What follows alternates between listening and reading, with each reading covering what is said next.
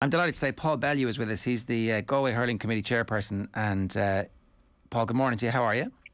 Morning, Eoin. How are you doing? Yeah, very good. Um, it's been. Uh, you guys have been responsible for one of the biggest bombs going off in the hurling championship in an off season that we can remember, where out of nowhere, Henry Shefflin was announced as your new intercounty manager. Um, how did you manage to keep it secret? Yeah, you say out of nowhere. Um, I've heard things flying around like 11th hour, and I wish it was. I wish it was that quick for us because um, it certainly felt a lot longer. Um, look at we there was a media storm around this Galway appointment going back for six weeks. Let's be very honest about it. Um, a few of us had a certain job to do, and uh, we made a commitment from the start that we would do what we had to do, keep our powder dry. There was times we had wanted to come out, given the amount of nonsense that was floating around, but we had to concentrate on what we do. And I suppose just one thing to be very clear: we we kept our position on every candidate the exact same. Um, there was uh, a lot of attention on certain candidates uh, that didn't come from us. Uh, to be fair, it didn't maybe come from them either, but uh, we treated everyone the same.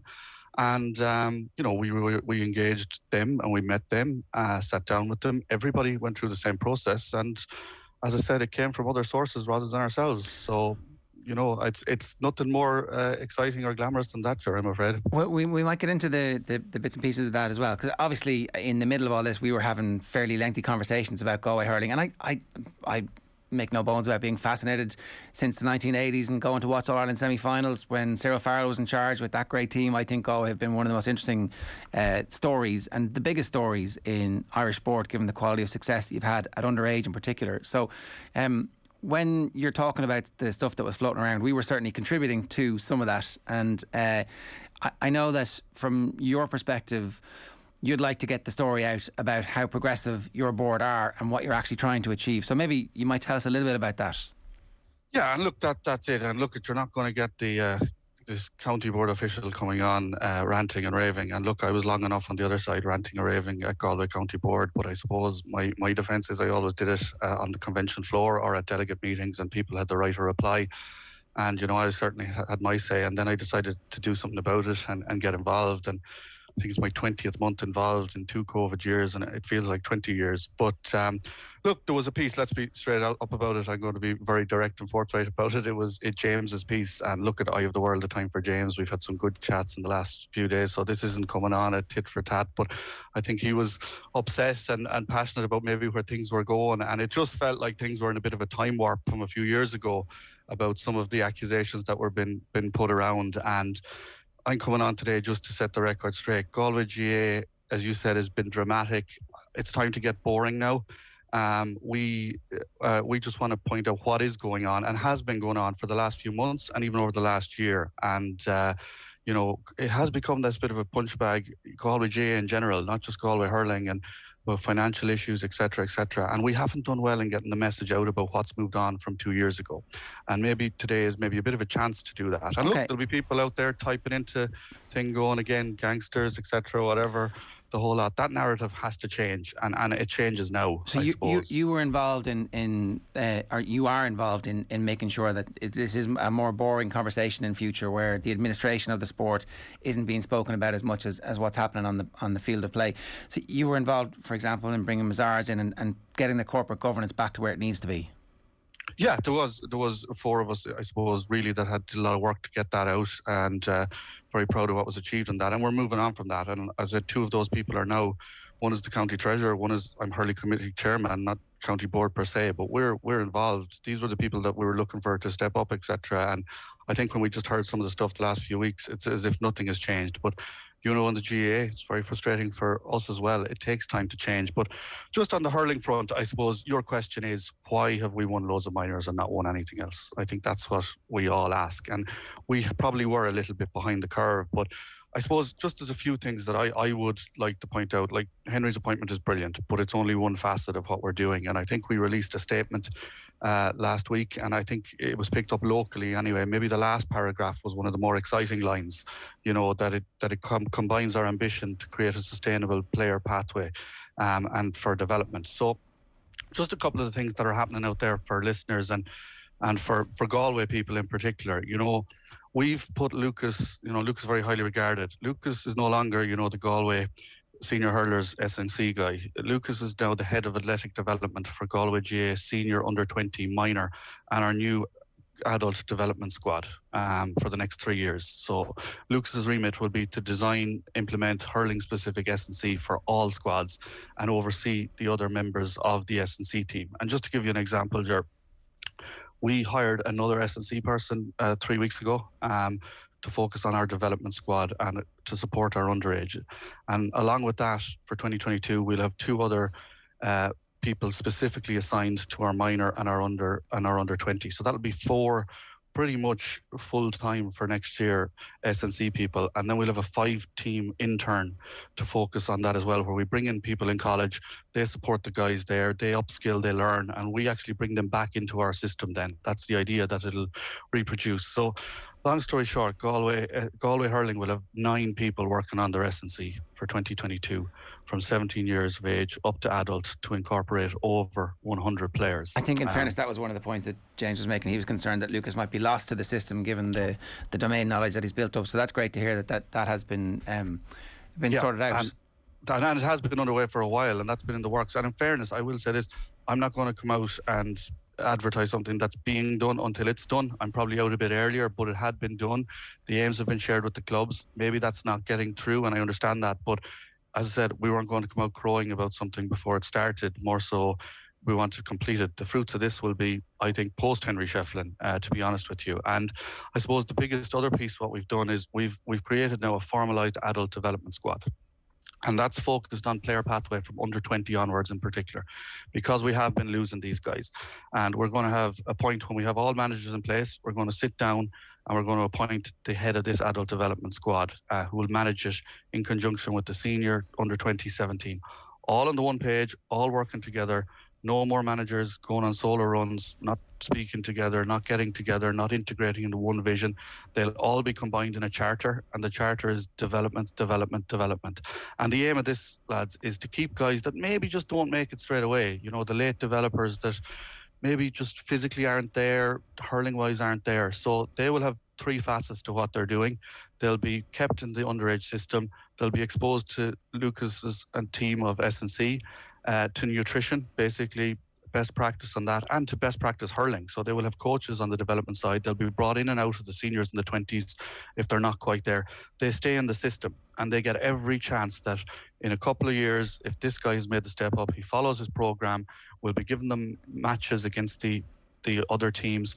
In he comes, he's ready, he's physically ready, he's mentally ready, which is very important, and he can come in and his hurling is up to speed. Um, so that adult development appointment is probably maybe maybe it's the biggest one we'll do uh, in the next three months. It won't get as much attention, but that's where we are, and that's what's been going on in Galway. Uh, that's a plan, and it sounds like you know. I'm always on the show talking about. Um, we always talk about the best in class, and so the Dubs football, and now it's Limerick hurling, and before that it was Kilkenny hurling.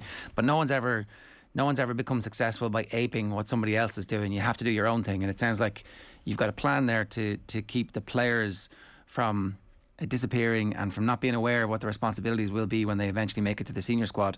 And that kind of brings me nicely. Is that is that a way in, in some ways of stepping outside the club structure and, and trying to bring some unity there? Because one of the other points that James made, and I think it probably holds for most counties who aren't winning All Irelands, is that if the clubs run off the championship they're happy and that's their that's their interest. And we, we've seen factional mm. self-interest is at the heart of a lot of the organisation where if so long as my parish or my club within the parish is doing well then actually I'm alright Jack. And if, if you're involved at county level you need to think separately from those clubs. So how do you get the clubs who have very very intense rivalries in Galway to think a little bit laterally and to think about the county for at least a portion of their of their thinking time yeah, well, we have to do much better with them as well. And I think what they need, and this will be part of Lukasz's role, is we need to upskill the clubs in terms of, uh, again, from an S&C nutrition point of view. That that's the key area as well, because there, there's plenty of hurling coaches. There, that's all very,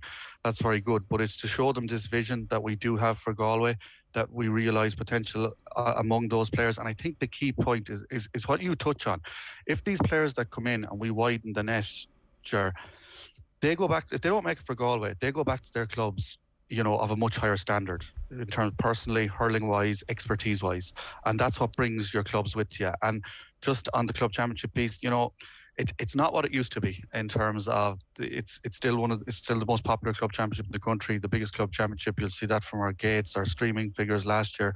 Every individual, the rivalry isn't as uh, as bitter and intense as it would have. That's probably another another uh, myth that needs to kind of go as well, along with a couple of other things, you know. And just while I am on it, because one thing we have had financial issues, we've had governance issues, that sometimes gets tied in with resource. And I think it's as good a time anyway to set the record straight. And I won't be too popular for doing this. Um, and I wasn't too popular uh, probably in my own county board when I did it. But you know, the go- this people will laugh at this, and I'm I'm waiting for the reaction later on today. Galway hurlers are probably in the top two resource squads in the country. Now, it's not too often that's said, and most people don't believe it. But I spent a lot of time the last few weeks talking to managers, ex-managers, other county board officials in other counties. Um, I've had some of the worst three weeks of my life, but two of the best three as well. The hurling public would talk to me. Uh, we're we are somewhere in the region of 20% over most teams in what we make available and supply to get our team to an All Ireland final. We consistently have backroom teams in excess of, of 20 people. Uh, our budget to get to All Ireland is over 700k if needed to be, and that's a budget. It's a target. It's not meant to be spent if it doesn't have to be, but it's there. Uh, our players are exceptionally well looked after, which they will all testify to. The relationship between I, I can speak from the hurling committee side and the players is as as good a relationship as I've ever been involved in from a work point of view or a amateur point of view. And you know, again, people might be, be shocked at hearing some of that, but that is the facts. And uh, as I said, just because there's debt issues and COVID, you would have a cash flow issues and huge challenges. We remain one of the best resource squads in the country. Taking that into account, then, Paul, is there uh, necessarily a target that gets set out for the managers to say you have to be winning all Irelands? No, that target will not come up in my vocabulary. Um, right. Our simple ambition is over the next few years in every facet is that we maximise our potential in every area and that the only reason we get beaten is because A, we're not good enough, would be a bounce of a ball. The idea over the next few years was we want to be hitting All Ireland semi finals, probably four in every five. If we're good enough, we'll win them. But I'll promise you this you won't be able to blame County Board. You won't be able to blame lack of money. You won't be able to blame um, well, you know, you won't be blaming the players. You won't be able to blame preparation. We will have everything in place that makes us reach our potential. If we're good enough, we're good enough. I think the best way to, and I chatted to Eddie O'Sullivan about this. Eddie was on our, our panel. Is you're looking at maybe um, a Green Bay model or something like that. That you're getting to the business end every year because everything is in place. And if you can get over the line, you get over the line. But no excuses now anymore. No nonsense. No sideshows. Galway loves drama. It loves politics. But needs to stop now. All on the one page, all going forward together. I said myself and James had this conversation last night, and as I said, Galway hopefully is about to get very boring, and uh, that, we, we hope they don't. The but, uh, I know you hope they don't, but I certainly hope they do. Just, uh, this is probably this is probably not the question to ask then if you're looking to keep it boring. But is Galway's Aaron Rodgers, aka Joe Canning, going to make a return? uh, see, there's absolutely nothing to do with me. That's a decision for the manager. The manager manages um, and we support and facilitate them mm. behind the scenes, and we stay out of that stuff. Um, we don't pick that. Would we all love to see it? Of course we would. If it happens, it happens. If it doesn't happen, it doesn't happen. And Paul, to go back to um, to getting Henry Shefflin involved, right? So we've obviously seen Henry's career as a, a manager um, come about and be very successful very early on. But I suspect that if if he thought there was going to be any bullshit in the background, then he also would have said, you know, thanks but no thanks. So I guess you coming out and telling us about what is in the background background and the the long term plans you have with strength and conditioning. In a way, um, it sounds like you kind of had to put those in place to be able to get somebody of Henry Shefflin's stature interested in the first place.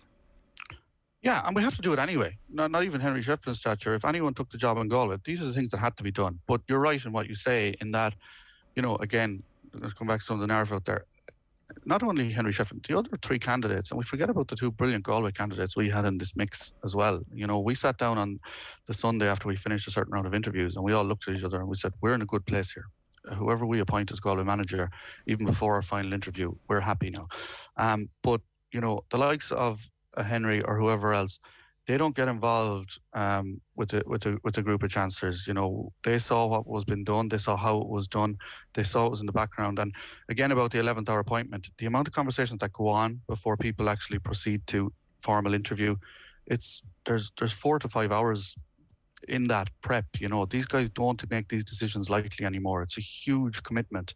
Not even if you're coming from Kilkenny. If you're coming from you're coming from Athenry, it's a huge commitment. So all those things have to be in place, and they have to be happy with those things. And that's the standards you know you need to reach. And what was the story of Micheál Donoghue? Because it looked like he was in, interested at one stage, then he was out, and then he was back in. Yeah, um, but again, uh, that's narrative on the media side. I can only tell you what I what, what uh, how it went down for us, and I've told the delegates this uh, when we reconvened two weeks ago.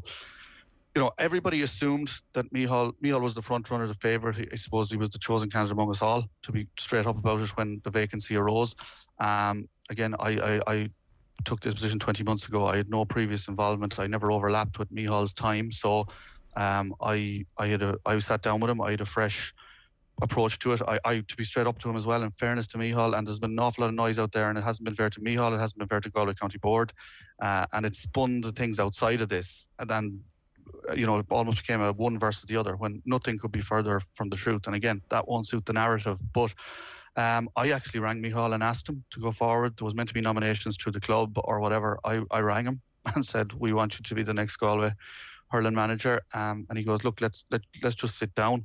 Uh, and he gave me that courtesy. And you know, we all know the dangers of assuming, lads. And uh, I suppose we sat down for nearly two hours. We had uh, a brilliant conversation, um, and it probably became apparent to me as well that I was shouldn't have assumed, um, and that he wasn't maybe in the position to come back that we had thought he was um, for personal reasons.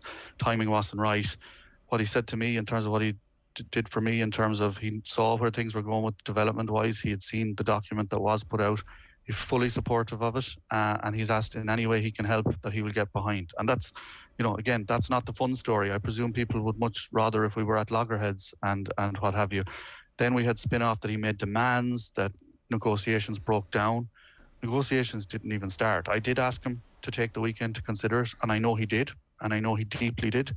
And he came back to me on the following weekend, and I said, "Are you definitely done? Is there any one thing I can do?"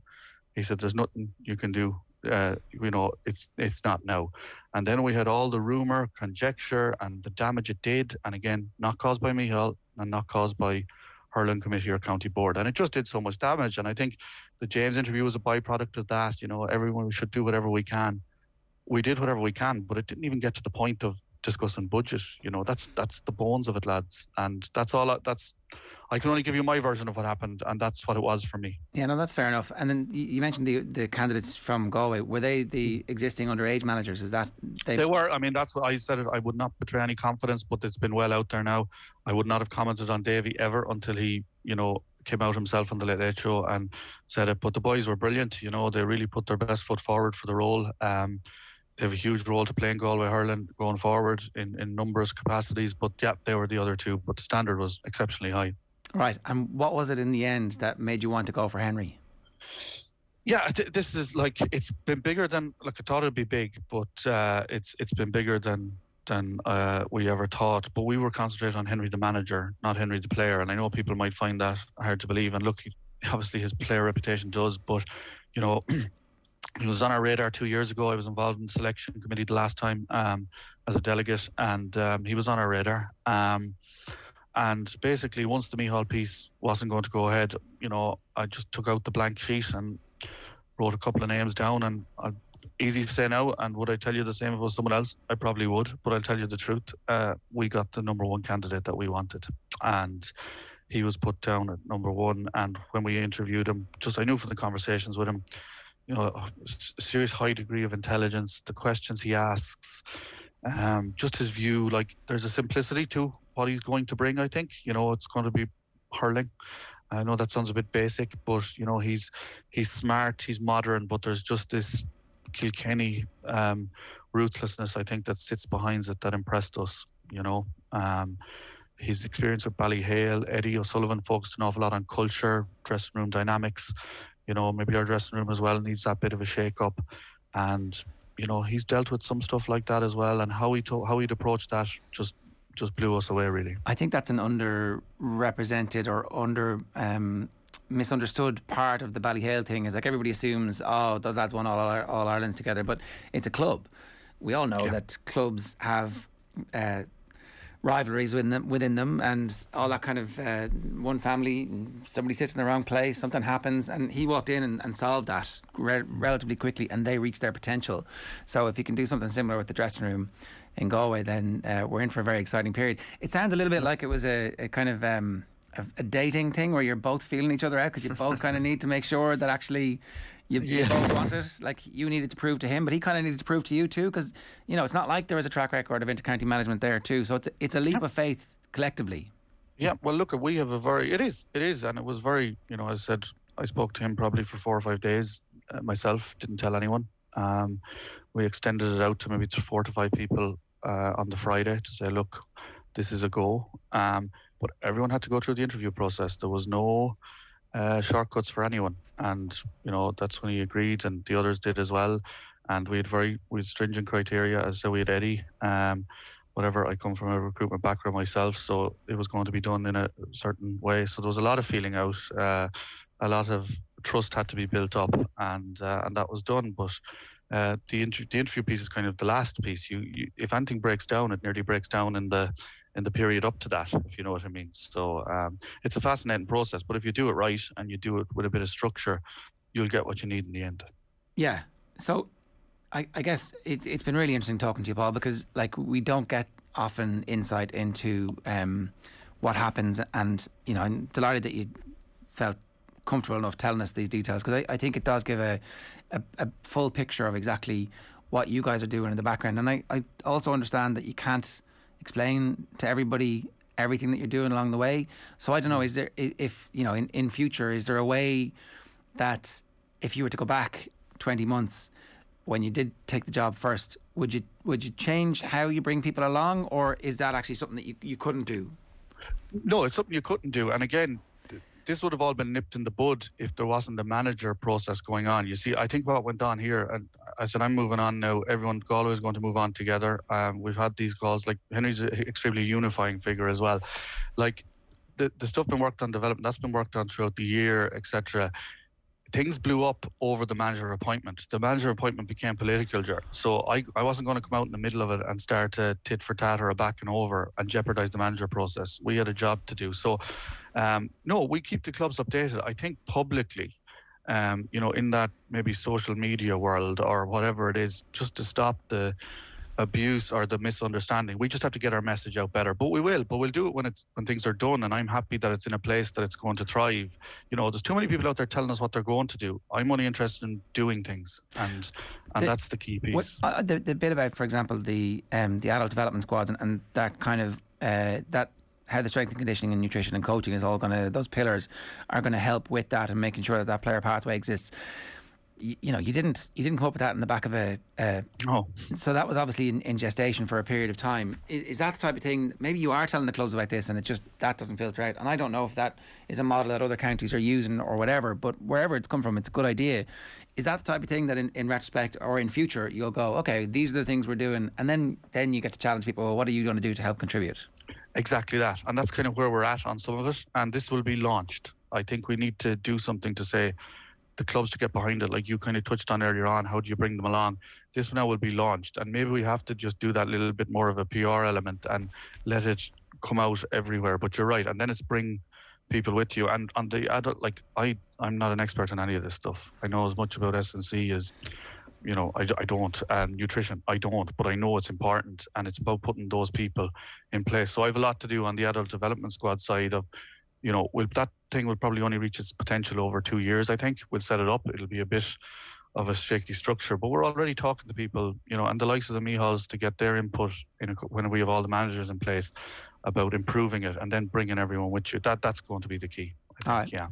Paul, great stuff. Really, really fascinating. And congratulations on getting your man because it has absolutely electrified the hurling world. And I think it has had this kind of bizarre crossover appeal where all of a sudden in the depths of winter, we're like, "Ooh, what's going to happen in next year's Leinster hurling championship?" Which Yeah, is not all we're missing is a game. Exactly. at the moment. yeah, yeah. And listen, thanks a million lads for the time. As I said, it's just good to, to, to put the story out there, change the narrative. Hopefully it does, but uh, that's what's what's going on in Galway, and hopefully now uh, we won't have to talk about Galway again for another three or four years. Well, we wish you the very best. If we don't talk to you for another three or four years, then you obviously things are going great. But hopefully, we will check in at some point. Thanks a million. Cheers, lads. Thanks very much.